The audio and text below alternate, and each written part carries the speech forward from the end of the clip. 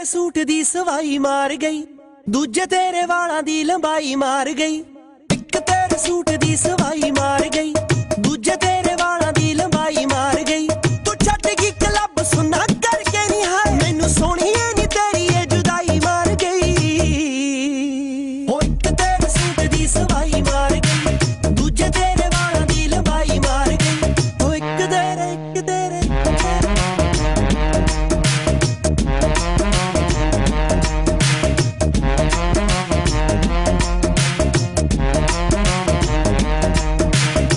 ਹਾਲੇ ਤਾਂ ਸਟਾਰਟ ਕੀਤਾ ਲਾਈਕ ਕਰਨਾ।